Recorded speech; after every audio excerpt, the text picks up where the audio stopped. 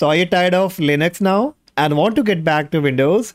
In this video, I will be showing you the easiest way to completely remove the Linux and install the Windows step by step. So today for the demonstration purpose on my laptop, you can see I'm using the Ubuntu and I will be fresh installing the Windows 11 on this machine. Now before starting guys, make sure that you take the data backup here on your Linux only as we will be removing the Linux completely and fresh installing the Windows. Alright, so first you have to download the Windows 10 or Windows 11 ISO, whichever you have planned to install on this Linux machine. I will be going with Windows 11, so I will search Windows 11 ISO download and click on this first website, download Windows 11. Here you need to scroll down to the bottom and you will find download Windows 11 disk image. Click on the drop down and choose Windows 11 multi edition. Click on confirm choose the product language and click on confirm. And then finally you have to click on 64-bit download. And the downloading will be started and you can see it's around 5.4 gigabyte. So you need to wait until it's all been completed. And similarly like Windows 11, if you want to download Windows 10, then you can search for Windows 10 ISO download. Click on the first website, again scroll down. So here you can choose the edition and then you can continue the process to download the Windows 10 ISO. Alright, so once you have downloaded Windows 10 or Windows 11 ISO, next you have to download the Ventoy tool that will be helping you to create a Ventoy USB with the Windows 10 or 11 ISO and to fresh install on the Ubuntu or any Linux operating system. So open up a new tab and search for Ventoy. Click on the first website, download Ventoy and here you'll find Ventoy 1.105 linux.tar.gz. So you need to click on this one. And again click here on Ventoy 1.1 linux.tar and the download will be started very quickly. And it's a file of around 20 MB so it won't take much time. And once it will be downloaded it will be downloaded in a zip file probably. So open the Ventoy folder or you can directly open from the file manager as well so if I go to the download, I can see the Ventoy folder here and the Windows 11 24H2, that is the latest version of Windows 11. So now what I have to do, I need to extract the file of this Ventoy. So I will right click on it and click on extract here and the extracted folder will be up. So this time if I bring up the Ventoy extracted folder, again open it. So you need to look a file here by the name Ventoy GUI x86 64. Alright, this one, you also need to look for the same one. Once you get it, make a right click on it and click on run. Enter the authentication password and click on authenticate. And the Ventoy dashboard will be up. Now here in the device section, it should automatically detect the USB if you have connected.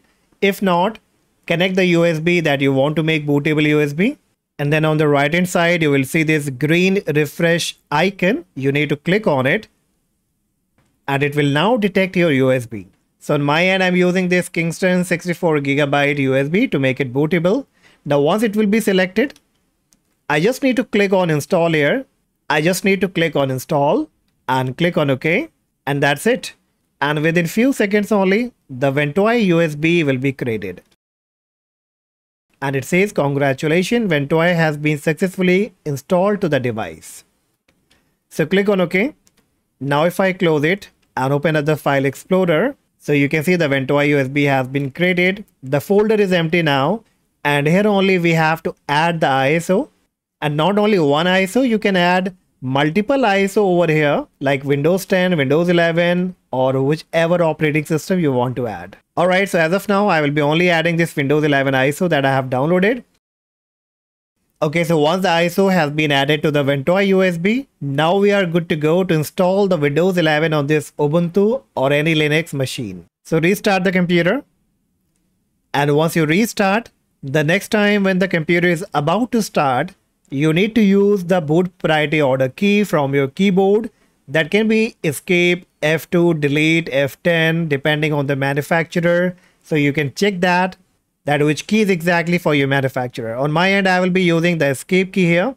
And once i press the escape key i will be getting this kind of startup items. And on number three it says boot device option press f9 so i will tap on f9 then it will ask me from which device you want to boot. So i will select USB hard drive Kingston that is on the second number. I will select it and hit the enter key. And here we go. So the Ventoy dashboard will be up and it shows up Windows 11 ISO because we only added Windows 11 ISO. So we have to select this one and then hit down on enter. Boot in normal boot. Okay. I will hit enter again and the computer will now be booting with this ISO. So very soon you will be getting this language setting page, language to install. So I will keep both this to English, United States and click on next. Select keyboard layout and then it says select the setup option. So I will choose install Windows 11, check the box and click on next. Accept the terms and then very quickly it will redirect you to the uh, disk option where you have to choose the partition. Now here also you need to be careful. You may find multiple disks and the partition here. So few of them you have to delete. Like disk 0 is the main disk of my laptop and this disk 1 partition 1 Ventoy is the bootable USB that I have connected. So make sure that you do not delete or format this one or else uh, it will not go through with the installation. Rest other system partition and everything I will delete it. I will also format this main partition here because I have to fresh install the Windows. Alright, so once it's been done, now select the main drive where you want to install the Windows and click on next. Click on install and the installation of Windows 11 will be started. Now you have to wait for a few minutes here until all the installation process is being completed.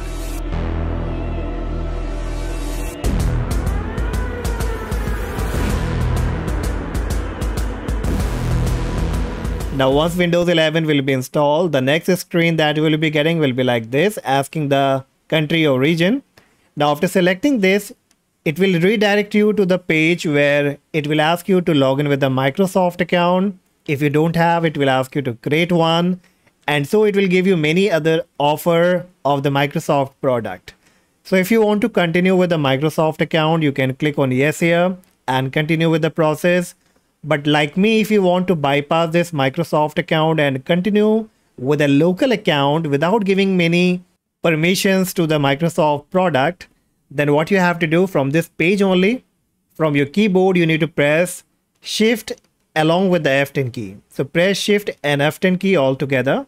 This will bring up the command prompt page. Now here you have to run a very simple command that will be start space ms dash cxh colon local only. All right, this command you have to type here, then you have to hit the enter key and it will bring up this local account page here and says create a user for this PC. So just type your name here, uh, pick the password if you want to pick. I recommend you that please go with the password. Here I'm bypassing it because I'm in a hurry so that I can show you. Then click on next. Now you will find it will bypass all kind of pages. Neither it will give you to log in with a Microsoft account or any other offer and it will directly take you to the Windows 11 page. And bingo, so now you can see we have successfully removed the Linux operating system and installed the Windows 11 on this computer. So that's all guys for today and hopefully you found this video useful that will be helping you to quickly switch from the Linux to Windows. And if you found this useful, please make sure that you hit the like, subscribe and I see you in the next video. Bye-bye.